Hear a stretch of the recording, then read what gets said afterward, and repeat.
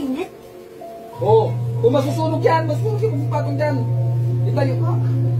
Tigilan mo na yan. Pasok ka na. Bukas tigilan mo na yan eh. Ako na lang ma. Mamaya niyan ako na lang. Ay, puti! Umaho na to! Bakit talaga mainit eh? Uy, ulo ka.